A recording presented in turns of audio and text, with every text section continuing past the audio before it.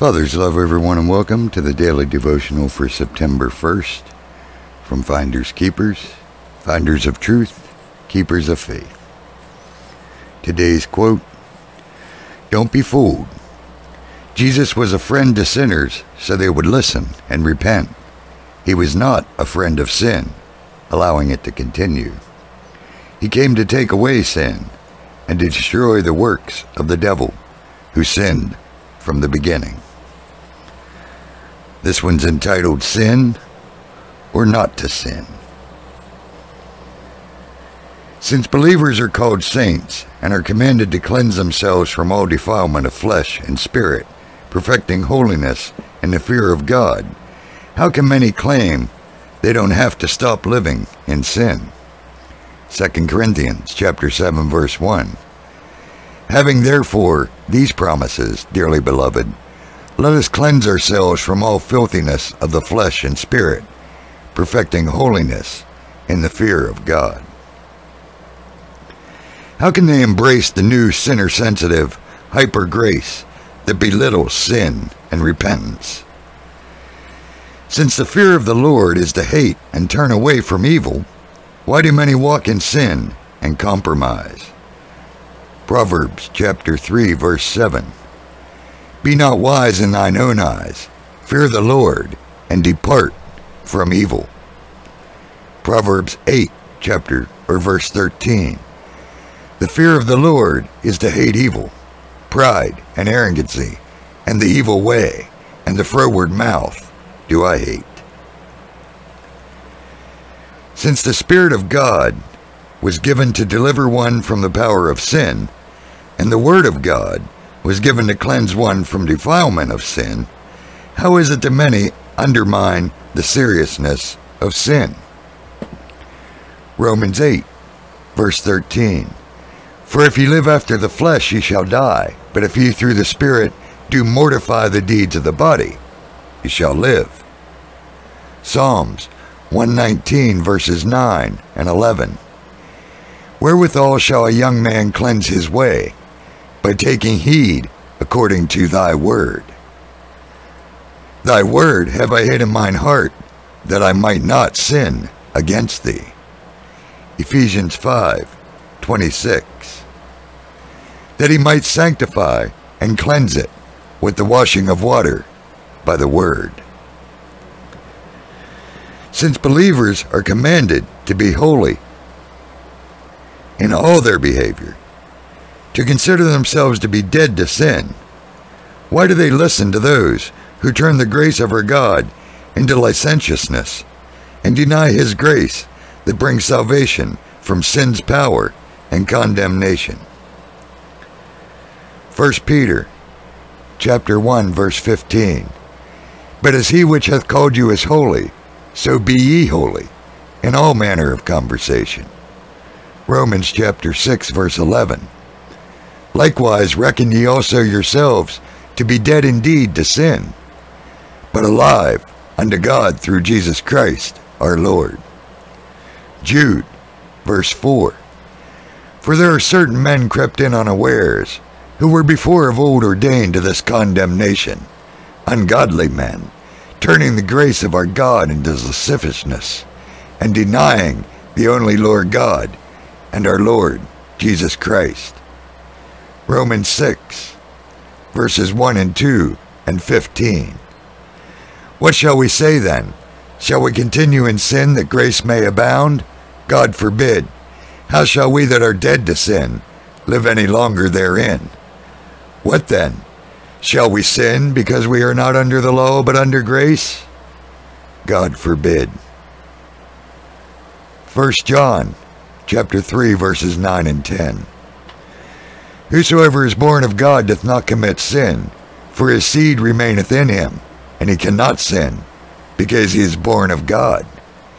In this the children of God are manifest, and the children of the devil. Whosoever doeth not righteousness is not of God, neither he that loveth not his brother. Romans chapter 6, verses 22 and 23. But now being made free from sin and become servants to God, ye have your fruit unto holiness, and the end everlasting life. For the wages of sin is death, but the gift of God is eternal life through Jesus Christ our Lord. Romans 8, verse 1. There is therefore now no condemnation to them which are in Christ Jesus, who walk not after the flesh, but after the Spirit. Titus chapter 2, verse 11. For the grace of God to bring us salvation hath appeared to all men.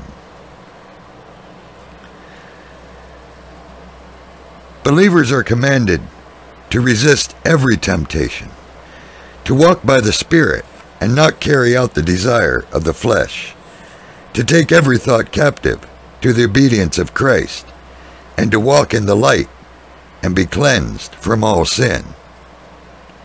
Yet many continue in their old ways, excusing themselves from pursuing holiness and sanctification. 1 Corinthians chapter 10 verse 13 There hath no temptation taken you but such as is common to man. But God is faithful, who will not suffer you to be tempted above that ye are able, but will with the temptation also make a way to escape, that you may be able to bear it. Galatians 5, verse 16. This I say then, walk in the Spirit, and ye shall not fulfill the lust of the flesh. 2 Corinthians 10, verse 5. Casting down imaginations and every high thing that exalteth itself against the knowledge of God, and bringing into captivity every thought to the obedience of Christ. 1 John chapter 1 verses 7 and 9. But if we walk in the light, as he is in the light, we have fellowship one with another, and the blood of Jesus Christ his Son cleanseth us from all sin. If we confess our sins, he is faithful and just to forgive us our sins and to cleanse us from all unrighteousness. This behavior results from reading Bibles rewritten by men or listening to the lies of the evil one, who has sinned from the beginning. 1 John chapter 3 verse 8 He that committeth sin is of the devil, for the devil sinneth from the beginning.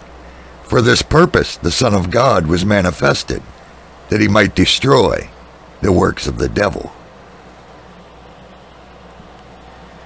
Rather than being taught by the Holy Spirit to abide in the truth which sanctifies, they are being brainwashed by the evil spirit of the age. 1 John chapter 2, verse 27. But the anointing which ye have received of him abideth in you, and ye need not that any man teach you, but as the same anointing teacheth you of all things, and is truth, and is no lie, and even as hath taught you, ye shall abide in him. John 17, 17. Sanctify them through thy truth. Thy word is truth. The devil prefers that we take holiness lightly, rather than pursue holiness devoutly. He desires for people to remain unrepentant and held captive by him to do his will, rather than become sorrowful over sin to the point of repentance, leading to salvation and deliverance from sin. 2 Timothy chapter 2 verses 25 and 26. In meekness, instructing those that oppose themselves, if God peradventure will give them repentance to the acknowledging of the truth, and that they may recover themselves out of the snare of the devil, who are taken captive by him at his will. 2 Corinthians chapter 7, verses 9 and 10. Now I rejoice not that ye were made sorry, but that ye sorrowed to repentance.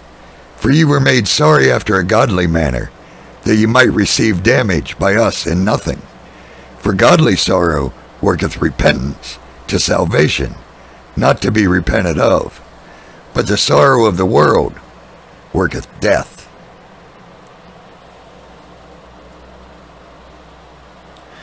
The devil prefers that his children remain bound by the cords of sin rather than be set free and serve the Lord in freedom. Proverbs chapter 5 verse 22 His own iniquities shall take the wicked himself, and he shall be holden with the cords of his sin. Luke chapter 4 verse 18 Jesus said, The Spirit of the Lord is upon me, because he hath anointed me to preach the gospel to the poor. He has sent me to heal the brokenhearted, to preach deliverance to the captives, and recovering of sight to the blind, to set at liberty them that are bruised. John chapter 8, verses 31 through 36. Then said Jesus to those Jews which believed on him, If ye continue in my word, then are ye my disciples indeed, and ye shall know the truth, and the truth shall make you free. They answered him, We be Abraham's seed, were never in bondage to any man. How sayest thou, Ye shall be made free? Jesus answered them, Verily, verily, I say unto you, Whosoever committeth sin is the servant of sin. And the servant abideth not in the house forever, but the Son abideth ever. If the Son therefore shall make you free, you shall be free indeed. Galatians chapter 5, verses 1 and 13. Stand fast, therefore, in the liberty wherewith Christ hath made us free, and be not entangled again with the yoke of bondage.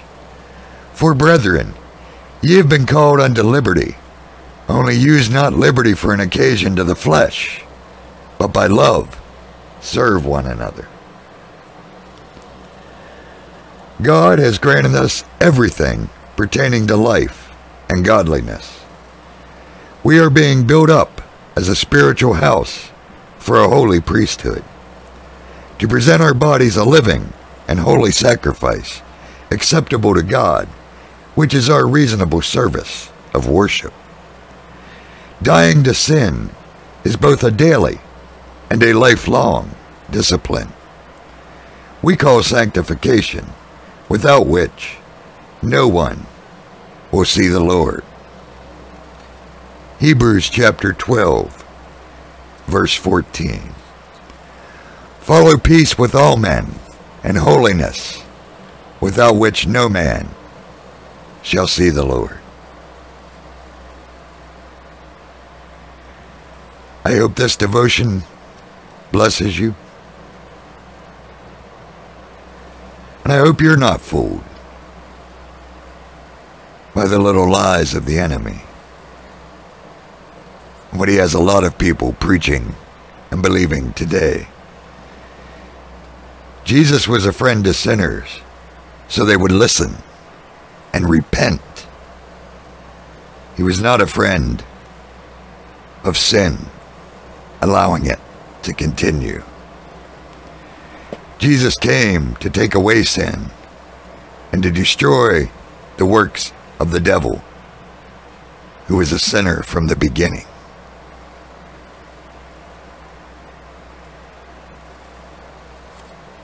I hope you can fully understand how important this is. Yes, we slip. Yes, we stumble. The enemy's constantly trying to throw stumbling blocks in our way, whispering things in our ears. But I hope you don't willfully continue in sin, like so many Christians today. Dying to sin is both a daily and a lifelong discipline. And only through the power of His Holy Spirit within us can we be sanctified. Because if we're not sanctified, we will not see the Lord. Don't forget to pray for the children, our fellow brothers and sisters around this world, and those still lost in the darkness, willfully sinning, so that they too can be set free. May our Father bless you, keep you, be gracious unto you, and give you peace. I'll see you next time.